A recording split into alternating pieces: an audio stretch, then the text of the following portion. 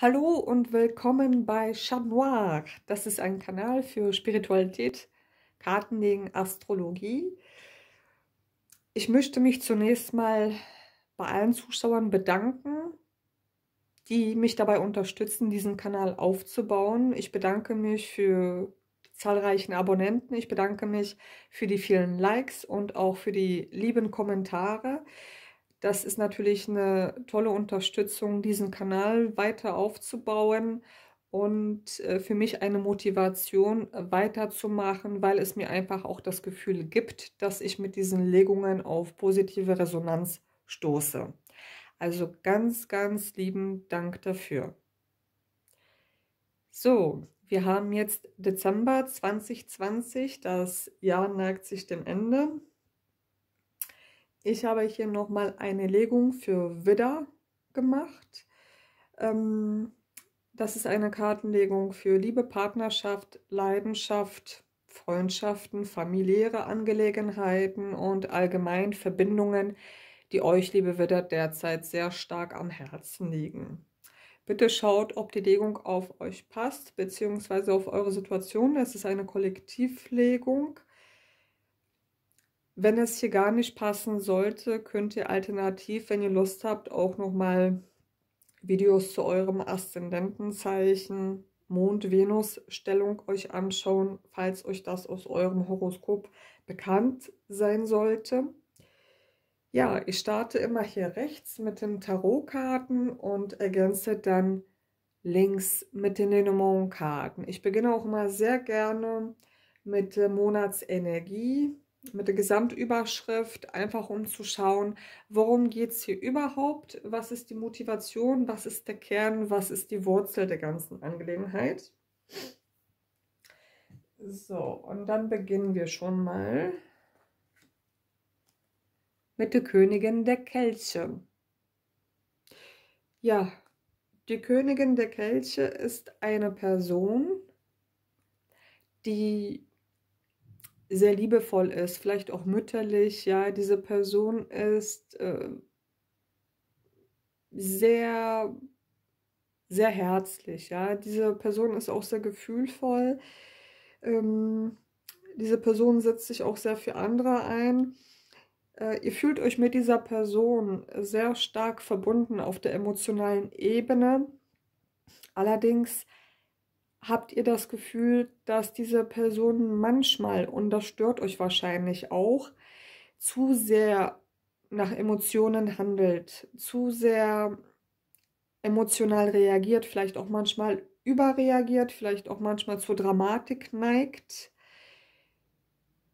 Und äh, das könnte hier so ein Knackpunkt sein äh, in eurer Verbindung, wo es euch schwerfällt, mit dieser Person äh, ja, zusammenzufinden, ja, weil ihr das Gefühl habt, liebe Widder, diese Person ist einfach zu, äh, zu stark im Gefühl, übertreibt es manchmal, ja, so. Hier drauf geklärt habe ich äh, fünf der Münzen und fünf der Stäbe. Bei den Münzen geht es um Stabilität, um Aufbau, sich irgendwie zusammenfinden, etwas aufbauen, eine Kontinuität erschaffen. Und äh, bei fünf der Münzen gelingt das einfach nicht. Oder zumindest eine der Parteien hat das Gefühl, das wird hier nichts. Man baut hier nichts zusammen auf. Hier könnte das Problem auch Zuverlässigkeit sein oder dass man sich überhaupt nicht in regelmäßigen Abständen sehen kann.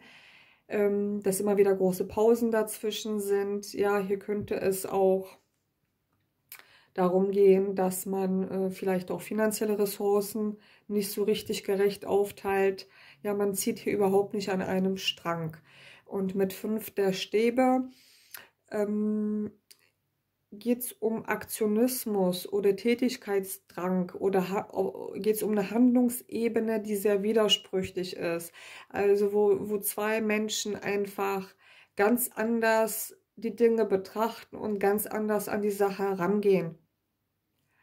Und äh, die Stäbe hier, sind ja auch Feuerenergie. Und da könnte es das Problem auch sein, dass hier zwei Parteien sehr feurig ihre Stellung, ihre Haltung vertreten. Und das könnte hier in einer Art Wettkampf münden, dass man ja vor lauter Debattieren, Diskutieren hier quasi schon einen Ringkampf führt. Wer ist hier der Stärkere oder wer hat hier Recht in der Angelegenheit? Wer kann sich hier durchsetzen? Und hier beides zusammengefasst bringt die ganze Geschichte an einen, an einen Punkt, wo es einfach nicht so weitergehen kann, weil es nicht so, weil es nichts bringt, ja.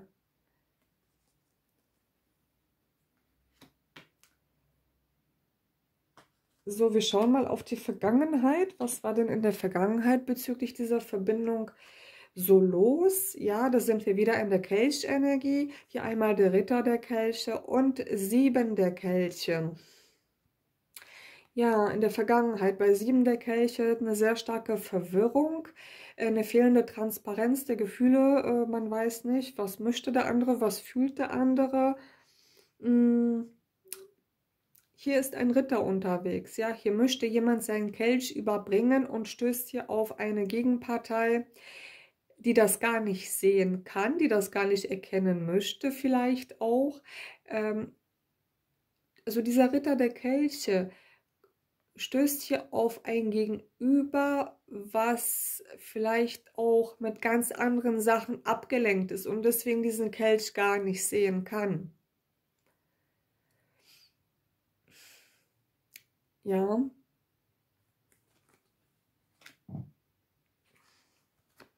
Hier drauf geklärt habe ich den König der Stäbe und den Gehängten. Im König der Stäbe sehe ich ganz eindeutig eure Energie liebe Widder. Ihr wart hier in der Vergangenheit äh, handlungsunfähig bezüglich dieser Verbindung. Also ihr konntet diese Verbindung hier gar nicht vorwärts bringen. Ihr fühltet euch sozusagen auch handlungsunfähig aus bestimmten Gründen, vielleicht auch durch äußere Umstände. Ähm, einige von euch haben diese Zeit auch genutzt, um vielleicht sich die Sache näher anzuschauen, die Dinge näher zu beleuchten, vielleicht auch sich ähm, in den anderen rein zu versetzen, vielleicht auch die Gesamtsituation zu überdenken. So, jetzt schaue ich mal auf die Gegenwart. Was ist jetzt so los bezüglich dieser Verbindung? Da haben wir zunächst mal hier die Welt. Also mit der Welt schließt man äh, mit etwas ab, mit einem Kapitel, zumindest zeitweise. Äh, möchte man hier wirklich das Buch zuklappen. Ähm, es ist auch eine große Arkane, da kommt man nicht drum herum. Ähm, ja, vielleicht ist es momentan an der Zeit, die Dinge einfach zu einem gewissen Abschluss zu bringen oder ja, man, man, man ist hier aufgefordert, äh, wirklich ein Kapitel äh, zu beenden.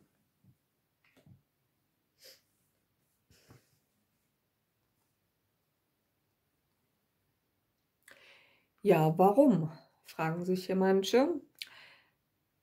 Zentral in der Mitte haben wir den Herrscher und das ist auch eure Energie, liebe Widder. Hier haben wir rechts den Tod, könnte für Skorpion Sternzeichen stehen. Ihr habt, also viele Widder haben es eindeutig mit einer Wasserenergie zu tun, vielleicht auch mit jemandem vom Sternzeichen äh, Krebs. Fische, Skorpion, Skorpion hier ganz stark. Und hier haben wir einen Ritter der Stäbe. Ich würde das mal so deuten. Ja, ähm, also dieser Herrscher, ja, der ist in seiner Haltung, in seiner Meinung unverrückbar. Er möchte die Dinge bestimmen, er hat einen gewissen Plan im Kopf, er hat eine gewisse Struktur im Kopf. Ja, beim Herrscher geht es auch um feste Strukturen. Strukturen auch bewahren, Strukturen beschützen. Und hier kommt nun dieser Ritter der Stäbe auf diesen Herrscher zu. Und dieser Ritter der Stäbe, der möchte diesen Herrscher zu irgendetwas auffordern, motivieren, ihm eine Idee vielleicht auch rüberbringen, ihn auffordern, komm mit, ich will dir was zeigen, lass uns hier irgendwas machen. Und ähm, dieser Herrscher, ich glaube, der möchte das nicht. Ich glaube, dieser Herrscher nimmt diesen Ritter der Stäbe gar nicht so richtig für voll. Und deswegen gibt es auch einen Stillstand. Ja, hier, hier endet auch die, der Aktionismus dieses Ritter der Stäbe. Dieser Ritter der Stäbe hat eine Zeit lang versucht, dem ähm, Herrscher hier etwas äh, zu zeigen, etwas aufzuzeigen, zu etwas zu motivieren. Das hat nicht so richtig geklappt, glaube ich. Und deswegen, äh, ja, gibt dieser Ritter der Stäbe jetzt auf, er möchte das Ganze ruhen lassen und deswegen wahrscheinlich auch die Weltkarte etwas ruhen lassen, etwas beenden.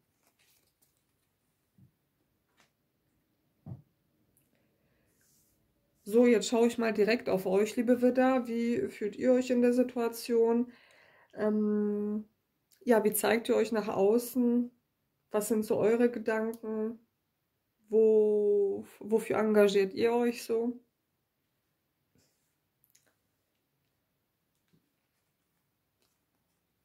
Und da haben wir hier den äh, König der Münzen und das Ass der Stäbe. Also, liebe Widder, ihr seid momentan hier in dieser Position des Königs äh, der Münzen. Ihr seid momentan sehr stark äh, auf euch fokussiert, äh, dass ihr sozusagen eure Sachen absichert. Es geht sehr stark um Sicherheit, um Stabilität, um Stabilisierung, vielleicht auch Ressourcen anhäufen. Ihr wollt euch momentan in eurer persönlichen Situation sicher und stabil fühlen. Das ist momentan eure Priorität. Ich spüre auch beim äh, König der Münzen eine gewisse Langsamkeit, eine gewisse Ruhe, die aber fast schon äh, zu ruhig ist. Es ist irgendwie schon fast zu ruhig und ihr seht hier dieses erste Stäbe, was euch hier gereicht wird und ich bin mir nicht sicher, ob ihr momentan so wirklich dran interessiert seid.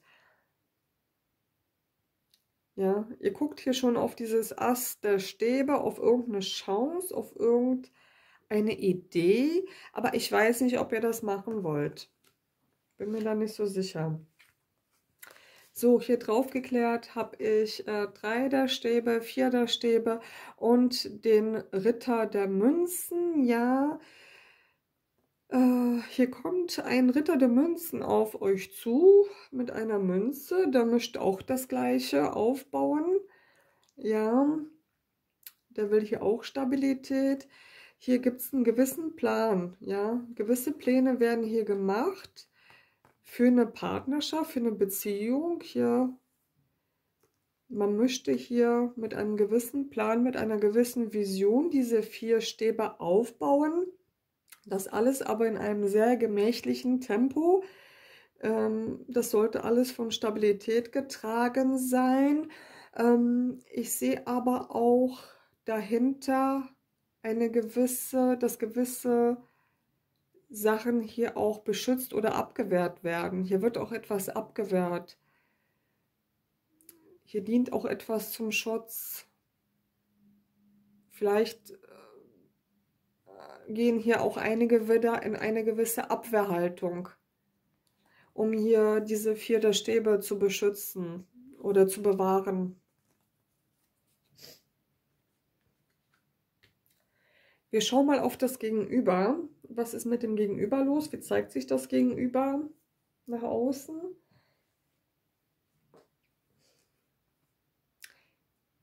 Sieben der Münzen. Wir hatten hier oben auch in der Vergangenheit diese sieben Kelche, diese fehlende Transparenz, Verunsicherung oder auch Verklärung. Ähm, das Gegenüber hat, was Münzen, was Stabilität anbetrifft, nicht das gleiche im Sinn wie ihr. Äh, das Gegenüber hat das Gefühl, es kann hier äh, nichts weiter Festes mit euch aufbauen, weil das Gegenüber das Gefühl hat, in der, die Bemühungen in der Vergangenheit hier münzartig etwas Stabiles mit euch aufzubauen, hat für das Gegenüber nicht die Früchte getragen, die es sich gewünscht hat. Ja, also das Gegenüber hat das Gefühl, dass seine Bemühungen nicht zielführend waren. Und deswegen fühlt sich das Gegenüber hier auch, was Stabilität anbetrifft, auch nicht besonders bestätigt. Ja?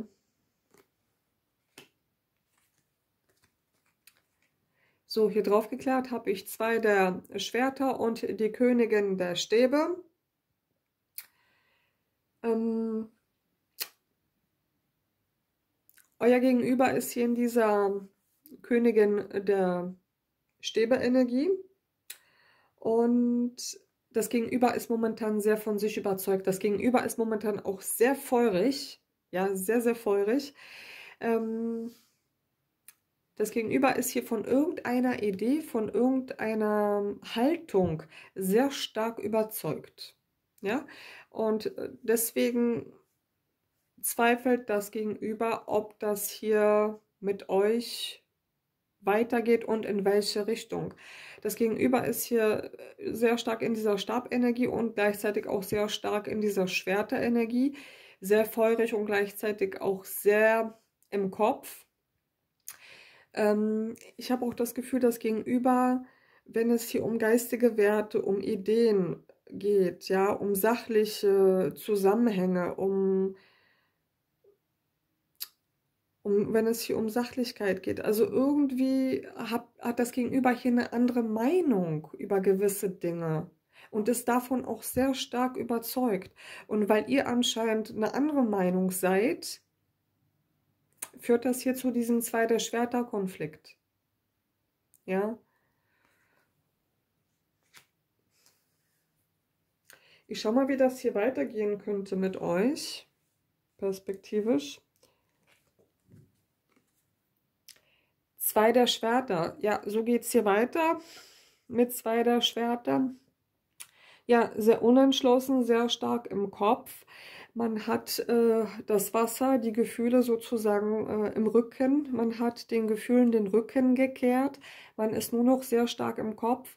Man äh, kann auch nichts mehr so richtig erkennen. Hier diese Frau trägt eine Augenbinde. Ähm, die verschränkten Arme vor der Brust sind auch eine gewisse Abwehrhaltung. Ja, man ist hier sehr unentschlossen, wie es weitergehen kann.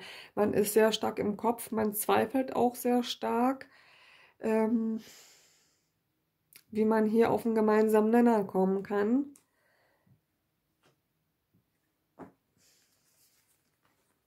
So, hier drauf geklärt habe ich sechs der Stäbe, die Königin der Kelche und vier der Schwerter. Ja, hier haben wir nochmal diese Königin der Kelche, wie ich eingangs meinte. Es geht hier sehr stark um die Königin der Kelche, eine Person, ja, die eigentlich im Kern sehr liebenswürdig, sehr warmherzig, sehr großzügig ist, ja. Diese Person ist aber momentan sehr stark in dieser Stäbe, in diese Feuerenergie drin. Also diese Person ist momentan sehr leidenschaftlich für irgendeine Sache, auf irgendeine Sache forciert, auf irgendeine Sache fokussiert. Äh, diese Königin der Kelche ist sehr stark überzeugt, dass mit dem, also diese Königin der Kelche hat hier für irgendetwas Feuer gefangen. Ja, diese, das ist hier Wasser, das ist hier Feuerenergie und beides zusammen ist sehr viel Leidenschaft. Da hat man Leidenschaft für irgendeine bestimmte Sache und äh, ja, diese Königin der Kelche ist total von sich überzeugt, dass sie mit dieser Idee, mit diesem Aktionismus richtig liegt. Ja, weil hier haben wir diese Siegerpose. Und ähm, wenn ihr, liebe Widder, dann nicht mitzieht, was passiert dann? Dann zieht sich diese Königin der Kelche zurück von euch. Dann gibt es eine Ruhephase. Dann gibt es einen Stillstand. Ja? Und wenn ihr dann diese Königin der Kelche aus diesem Zustand äh, ja, der Abstinenz oder der Ruhephase oder ne, wenn diese Person sich von euch zurückzieht und ihr versucht, diese Person da rauszuziehen aus diesem Rückzug, kann es passieren, dass es in einen Konflikt mündet. Also die Königin der Kelch ist momentan extrem unter Feuer und Fire, ja, die brennt regelrecht. Und ähm, wenn ihr die irgendwie intellektuell herausfordert oder ähm, hier es irgendwie auf einen Streit ankommen lasst, wird es auch richtig Streit geben. Aber vielleicht ist das ja auch manchmal wichtig, um die Luft zu reinigen. Manchmal ja, ist auch ein Konflikt äh, nicht ganz so schlecht. Es äh, klärt dann manchmal sozusagen die Positionen. Ja. Aber ihr Widder seid da immer sehr ihr, ihr, seid ja sowieso vom Feuer regiert, ja, von den Stäben. Also hier ein bisschen streiten und diskutieren, da habt ihr gar keine Angst vor. Herausforderungen gibt ihr ja bekanntlich.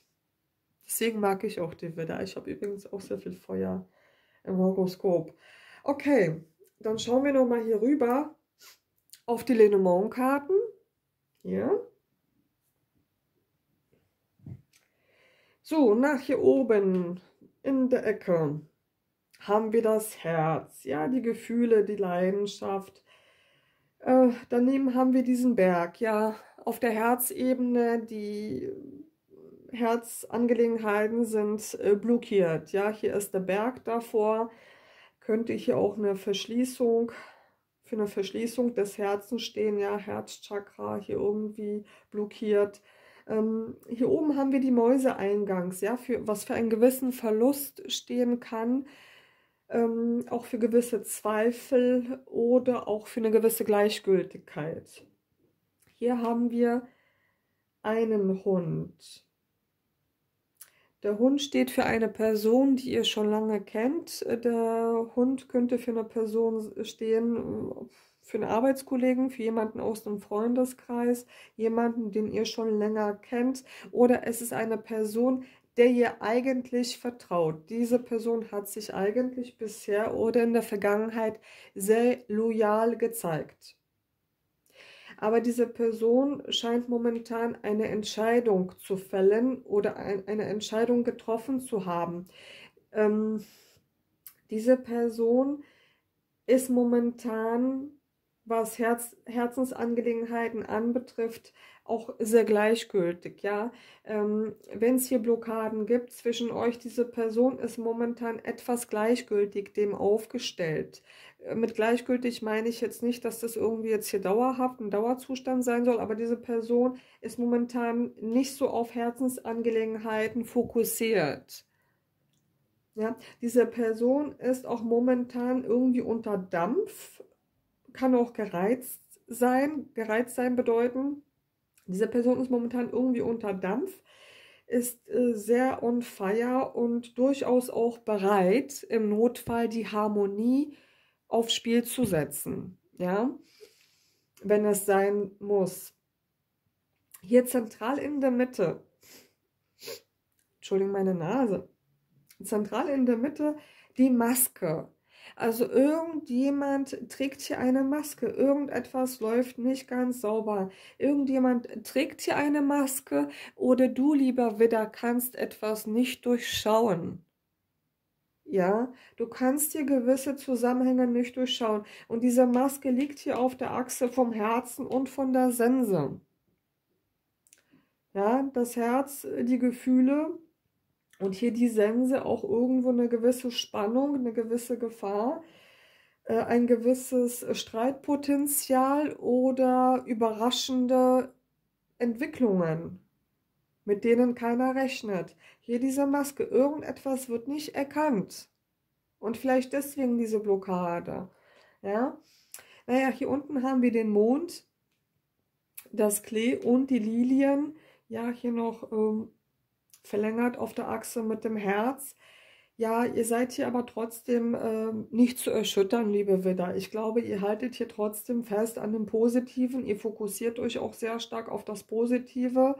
Ihr versucht da intuitiv, ähm, ja, in das Gute, in die positive Energie reinzugehen, um das alles hier richtig zu handeln. Ja, Jahresabschluss hier mit dem Mond, mit dem Klee und mit der Lilie finde ich sehr gut. Ja, ihr schaut hier auf das Positive, positives Denken ist hier auf jeden Fall sehr gut. Okay, das war's auch schon von meiner Seite. Ja, liebe Widder, ich wünsche euch alles, alles Liebe für den letzten Monat im Jahr. Ja, viel Erfolg, viel Gesundheit und ja, vielleicht bis zum nächsten Mal. Tschüss.